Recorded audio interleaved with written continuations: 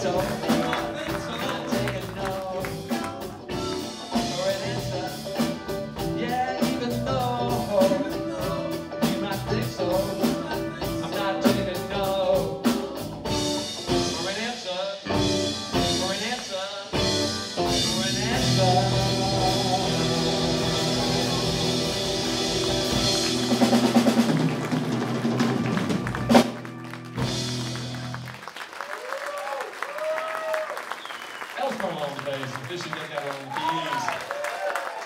Thanks, man. Thanks.